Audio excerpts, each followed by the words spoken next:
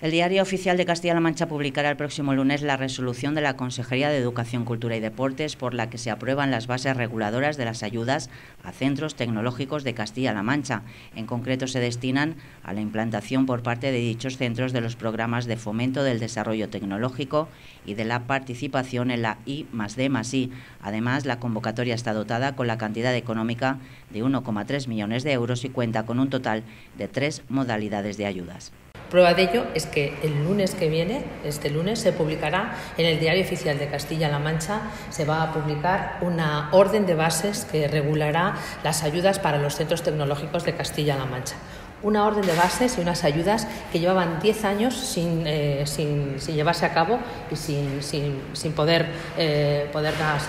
ponerlas a disposición de los centros, de los centros tecnológicos de nuestra región.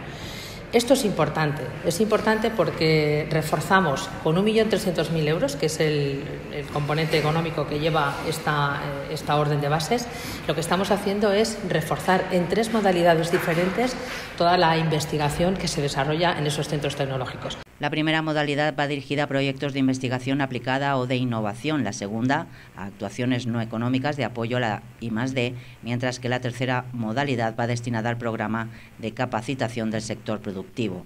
Los objetivos que se pretenden alcanzar con la convocatoria son los de favorecer la consolidación de los centros tecnológicos, conseguir un mayor nivel de excelencia y especialización, mejorar el servicio que estos prestan a la empresa, desarrollar proyectos de investigación, innovación y transferencia tecnológica y mejorar las capacidades para la especialización inteligente, la transición industrial y el emprendimiento de los sectores productivos de Castilla-La Mancha. Así lo ha señalado la consejera de Educación, Cultura y Deportes, Rosana Rodríguez, que ha explicado que con esta orden reguladora se retoman, después de más de 10 años de ausencia, estas ayudas para el fortalecimiento de los centros tecnológicos como nodos de conexión entre la investigación que se realiza en la universidad y lo que se desarrolla en las empresas.